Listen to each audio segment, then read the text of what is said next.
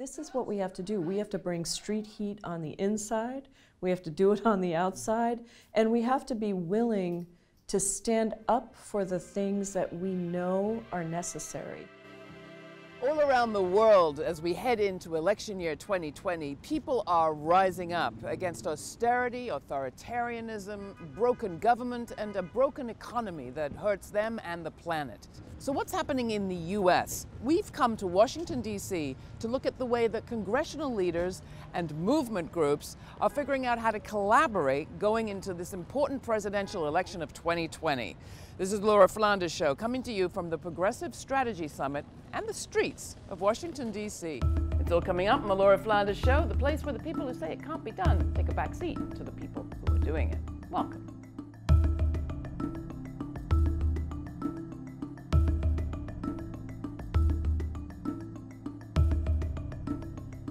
So we are here in some back room of Union Station in Washington, D.C., where the She the People organization combined with the Progressive Caucus Strategy Summit to kick off a conversation about change within the party and within the Democratic Party's relationship with social movements, the kind of conversation I haven't seen before. My old friend and colleague Aimee Allison is a key, not to mention the key player in all of this. Um, Aimee, what's different? What's changed? What are you doing now? Well, what's changed is uh, 2016 broke the old rules, um, which rendered women of color invisible. Think about the social justice movements that are um, most impactful today. Those are led mostly by women of color, and yet if you look at the whole ecosystem, what organizations get the money, what leaders are typically lifted up, it isn't women of color. So there's been a disconnect for a long time. I'm going to argue that the progressive movement, the left wing of the Democratic Party, was in a losing position because they just didn't get racial justice right and weren't able to speak um, the language of and the politics of intersectionality and weren't able to say, look, um, if we do not speak to women of color, we're not going to be successful in our politics. So talk about it. You said you say that you are going to build a movement the like of which we have never seen.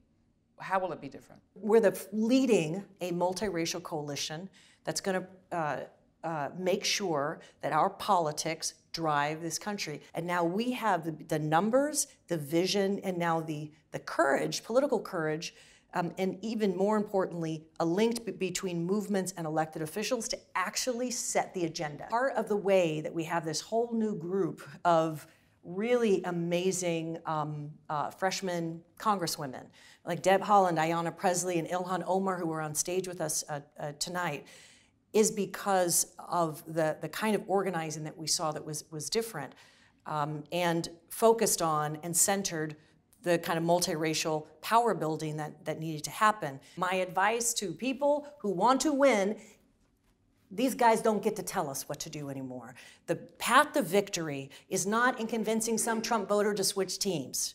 The path to victory is to get our people who are, agree with our politics engaged, invested, and out to vote. What's your ultimate goal?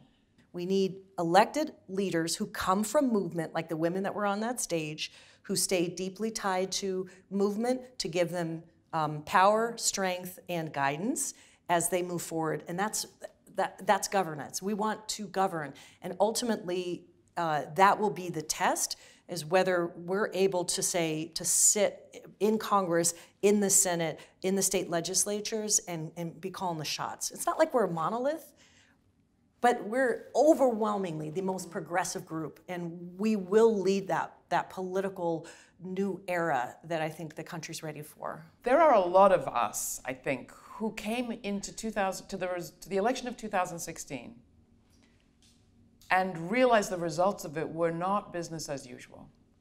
That this was what some people called a five alarm fire. So, my last question to you really is how you see this moment and how you think about business as usual, or if you agree that we are in this kind of a not business as usual moment. We're, we're at the end of an era. Um, the country that we live in is becoming majority people of color. And there are many, many millions of us who are insisting that our democracy become a multiracial democracy. Anything less is like apartheid, when you have a small group that controls a lot of people. And that small group is white and has wealth. So um, the struggles that we see across the globe um, mirror the kind of challenges that we have here. But the hopeful thing is that we can unite over a common set of values. I mean, it's certainly um, what grounds my politics. I always like heart politics is to love our own and others and um, uh, to make justice a law of the land and create a country where everyone belongs. And my greatest hope, and truly the, you know, the reason I think I was born was to bring people together across race, across race and gender, um, in this, you know, as bridge people, in this language and spirit of solidarity. I get that it's not everyone and it doesn't have to be. We don't need we don't need to change a lot of minds. We just have to find our people. And finding our people and organizing with our people is the transformation that we need right now. From Union Station, we headed over to the Progressive Strategy Summit, a gathering of progressive leaders from in and outside of Congress, to ask the question Is 2020 a politics as usual moment? And if not, what does it require? We're here at the Progressive Strategy Summit. And as always, we're hearing that this coming election, 2020, is the most important election of our lifetime. Congressman Sheila Jackson Lee from Texas's 18th. 18th district, historic, the district that Barbara Jordan held. What would she say about this moment? What do you say about this moment? Is it different from all the others? Well, her voice would be so booming. She'd say, get up and, and just do it. Um, the heart, really, of this nation is near ripped out, um, just in a mere three years.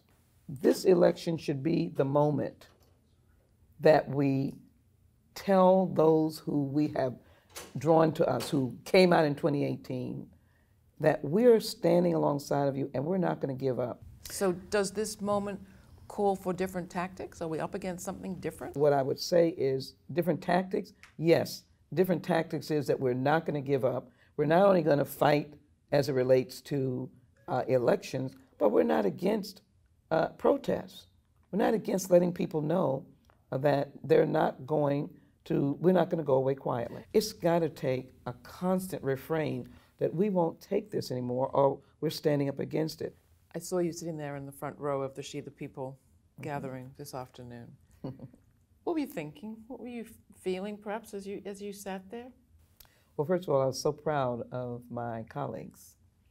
Um, I'd like to think I'm a uh, elder stateswoman um, that is very young, but um, I was really proud of them. I'm excited about how we can craft a victory in 2020 with She the People power. And you are correct. Um, it's a new day, and I do feel it's a new day. And I feel that we should use that power. Uh, and that power should be for the good of the people, but the good of women who um, have had their share of second and third class positions in life, and particularly women of color, earning the least uh, in the jobs that others did not want, suffering indignities. I think it's beautiful to see us blossom. In addition to talking to some of the movers and shakers in the Congressional Progressive Caucus, we also caught up with some leading activists like Alicia Garza, co founder of Black Lives Matter. It is not going to be sufficient for us to uh, just think that getting a new president in the White House and then giving power back to the Democrats is what is going to make this country better um, it will stop the bleeding for a little bit. But um, there is hemorrhaging happening here. I knew that Donald Trump was going to get elected, and I had no illusions about that. And the reason I had no illusions about that was because while some of us were talking about populism on the left, the right was building a populist movement that won power in this country. And I have never been mistaken uh, that this is bigger than Donald Trump. This is about a, um, a deep schism that has widened uh, to the point where uh, there has to be a different way of moving forward. We actually have to articulate who we are again. I don't think this is a fight between Democrats and Republicans. I don't think this is a fight between the left and the right. I think this is a fight for um, the moral center of this project that we're trying to build together. I do not think that we can just work harder and things are going to change. I don't think that if we change who's in the White House, things are going to change. There is so much damage that has been done um, that we are in a very different moment. And to undo the damage that has been done is going to take us at least a decade. But to be honest, things were not great before this administration took power. And so, what we actually have to heal right now is people's um, complete disgust with government and its inability to meet the needs of its citizens. Um, and we also have to figure out how we solve some of the biggest problems facing America and how we do it together and how we do it in ways that um, I don't think we've really imagined yet. How do you connect your work around Black Lives Matter and police violence and the carceral state and this other work that you're talking about around healing and elections and yeah. and dealing with trauma? It's all one and the same. So, uh, when Black Lives Matter first emerged, uh, it emerged around issues of state sanctioned violence, the most visible of which was police violence. And we would constantly say state violence takes many, many forms. It's not just about policing, but policing is the thing that we're all paying attention to because it's being captured on cell phones around the world. The state uses violence to contain and control, to quell the resistance that inequality generates. Uh, I was, you know, off on a trip and I was reading about rolling blackouts that were happening. Uh, in the richest city in the nation, right? How is it that in the San Francisco Bay Area, the home of venture capital and tech capital, that people can be without power? And that is because of the increasing control of corporations over our government and the increasing relinquishment that our government gives to corporations to do whatever they want and to line their pockets and to not regulate them all of these things are related. This deep level of economic insecurity, this deep level of material insecurity, and the rebellion that rises from that, um, state violence is used as, an, as a way to control and contain that. And if they have to kill you, they will. And do we believe it that what's at stake here are our lives? What's at stake right now um, is our actual futures. Like, the progress of the problems that are plaguing this country have accelerated since this administration took power. Um, and what's really at stake is not just the issues that I care about, but my ability to be able to make decisions over my life and the people I care about and the people I love.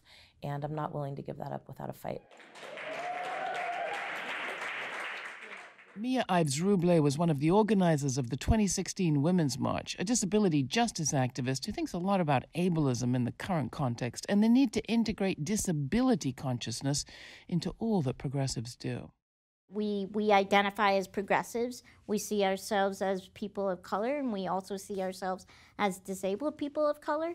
And we want to see our politicians addressing the issues that not only just align with you know healthcare and education, which is what we always hear when people are talking about disabled people. We also want to hear about issues of police brutality. We want to hear about immigration. We want to hear um, about transportation issues. We want to hear like a wide span of issues that really affect us but have never been addressed. So I think, you know, one big thing is just, you know, getting politicians to recognize that we are a voting population and that we are an important voting bloc um, because we are 25% of the population, and that's a huge percentage to be ignoring. And we're, we're also seeing some of our peers who are being shot by police because they call for mental health care, uh, mental health uh, help. And so I think what we want to see is politicians really getting a grasp on that. And I think uh, we've we've begun picking and, and and getting more politicians to start noticing us, and I think that's going to be a big, big, big thing um, as we continue on in the 2020. How's the Trump threat connected to the rest of your work? You know, I think people don't realize that all of these oppressions all coalesce and interconnect with each other. How ableism is part of white supremacy and the belief that there's a better or superior race, right? Um, and I believe that you can look throughout history and look at like when did we start identifying issues around disability? And that was around the time of understanding how the economy worked um, and how uh, there was an importance put on work. And I think understanding how um, people have been disenfranchised um, from being able to obtain work and people choosing who belongs in society and who doesn't, there becomes this fascination and this tie of like, are you human enough and are you worthy enough to be called human and and deserving of of a presence in society um, when you're looking at disability and then you you add on an issue of race and you add on all of these other issues um, it's all tied in together on who who is worthwhile in in talking about who deserves what in society. So, is it just about getting Trump out of the White House? No, no. If we get somebody like, say, Joe Biden, or we get somebody who who isn't, you know, you know, just wants to go back to sort of what we have had in the past, are people going to still stick up for us? You know, like people, kids were getting, being, I mean, people were getting caged long before President Trump came into office, and and there wasn't a lot of outcry. You know, like people like Obama continued policies that were were hurtful to a lot of communities, and so I think there is a big fear that people just are so focused on Trump that they're not looking at like a, a lot of these societal structures that have continued these issues. And yeah, sure, Trump has sort of used that as a way to, to get what he wants. But if we don't demolish those systems and rebuild something new, we're just going to run back into the same issue and we'll have somebody 10, 15 years from now doing the same exact things, caging people. So the work goes on. Yeah, of course. So it's not just members of Congress and social movement groups who are feeling an urgency here in Washington. Right across town at the Capitol, actress and activist Jane Fonda has been doing weekly vigils and arrests she calls Fire Drill Fridays for the climate. I caught up with her in a week focused on oceans. Hey, we can do this. We really can. It may be a little inconvenient, but it's not as inconvenient as fires and floods and mass migration and droughts and starvation. That's inconvenient.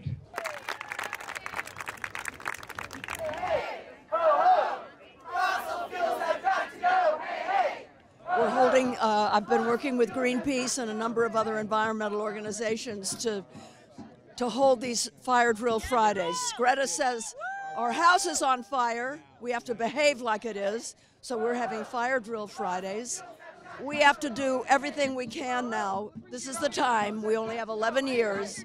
Leave our comfort zone and become more more of an activist. The scientists now say that's what we need. We need massive numbers of people in the streets. so not just vote, but a whole lot more. But, well, we have to vote. We have to vote for the climate. We have to vote for people that are not moderate, people who really understand that this is a time when it's too late for moderation, when we have to do something as brave as a Green New Deal. And then we have to stay in the streets to hold their feet to the fire. We can't just elect them and then go away. No matter how good they are, we have to keep pressuring with growing numbers and, if necessary, shut the government down. What do we want? When do we want it? Now. What do we want? When do we want it? Now. What do we want? Well, anyone who has children or grandchildren needs to be worried about this because we're running out of time to deal with food, water, clean air. We, I feel like our elected officials are doing nothing to stop climate change, and yet it's an existential threat. And uh-huh. now is the last moment. To, now is the 11th hour for us to take action. The climate crisis is having impacts now Right now, while we're speaking, there's much stronger wildfires, and we're having routine blackouts in the United States of America and in one of the richest parts of the country in California. You know, so this is a crisis that affects everyone. We have a million species out of about 8 million on Earth who are predicted to go extinct. You know, so this is an enormous crisis. We've done everything we're told we're supposed to to make change in a democratic society. None of it's worked, so we got to resort to civil disobedience. So here we are taking the streets. So we're live here at the Fire Drill Fridays. And I don't know about you, but I was super moved by a lot of what we heard this morning. Not just the idea that this isn't business as usual, we know that, but that this is really a matter of changing our relationship to the natural world and to one another. So I think I'm going to go get arrested because we do have to put our bodies on the line and our actions have to reflect our words. So let's go join Ted and Jane on the steps.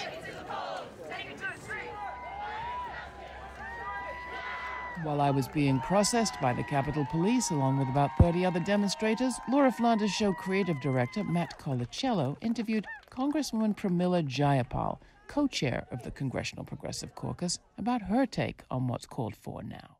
Can you talk about right now and what this moment requires of us? Is this a business as usual moment? No, no, so far from that. I mean, this is, I think, one of the most important moments in our history.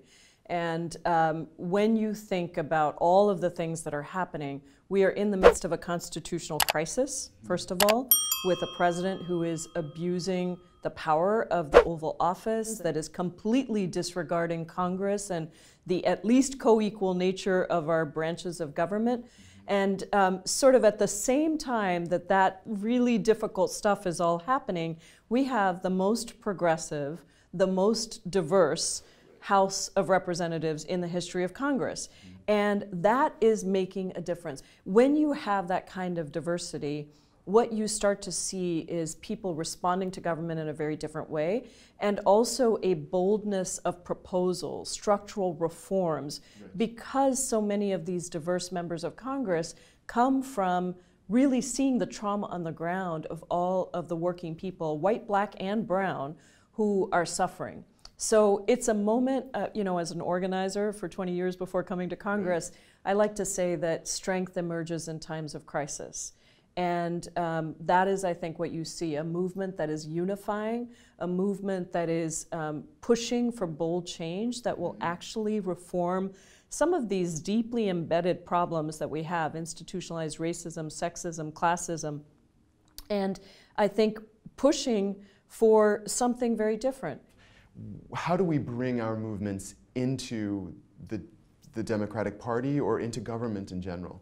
Well, I mean, we're here, you know, and, and the Progressive Caucus is a perfect example of this. We have 100, uh, it's either 100 or 101 members um, in the House that are part of the Progressive Caucus. That's 40% of the entire Democratic caucus. But more than that, there are the movements that support this work. It's important to get Trump out. However, that doesn't fix the problem. So, structural reforms that we need we need to take on white supremacy, we need to take on corporate supremacy, and we need to take on individual supremacy. And, and then, of course, climate. We need to make sure that we are addressing the urgent crisis of climate, which, by the way, has all three of those supremacies that I mentioned tied right into why we are not making progress on, on climate. Can you just talk a little bit about what it has been like since 2016 to be in this, this extended moment of crisis in our country, yeah. but also to be part of this cultural shift towards making the Democratic Party more progressive? Yeah, well, I never wanted to be in office. You know, mm. I, I was an activist on the outside and I was pretty skeptical of elected officials, but I had this, I suddenly realized that we are ceding, giving up this important space for organizing. And um, when I was arrested right here in, in DC, leading a, a, um, a huge uh, civil disobedience protest with 100 women, I realized that we have been pushing and pushing and pushing from the outside, but why aren't we on the inside? Why do we have to push so hard to get our ideas taken seriously. And maybe what we needed to do was come on the inside and change the whole way that we think about organizing so that there isn't even an inside or outside, but that we have organizers populating all the most powerful platforms that we need to push for our progressive policies. I've tried to bring those principles to the work I do. How I craft a bill, um, we bring our movement partners into the room to craft the bill. Um, how we organize protests or what happens when there's a horrible thing, like when I heard about the family separations and I was the first member of Congress to go into a federal prison and working with movement allies within three weeks we turned out half a million people into the streets. This is what we have to do. We have to bring street heat on the inside, we have to do it on the outside, and we have to be willing to stand up for the things that we know are necessary and not just not just go along with the things that seem possible right now. Our job always as activists and organizers is to push the boundaries of what's seen as possible. And now we get to do it from the inside as well. Yes. Street heat on the inside. Thank you so much for, for chatting with us. Thank really you. It's great to appreciate be with you. So it has to be said that the Progressive Caucus only makes up about 40% of the Democrats in Congress. What power do they wield? Well, that'll depend a lot on their relationship with the movement groups that they want to build connection with when they have meetings like this one. Will they be able to do politics differently in 2020? We'll find out. But in the meantime, you can be sure there's going to be more action happening in the streets and more people turning up the heat, both where they live and here in Washington.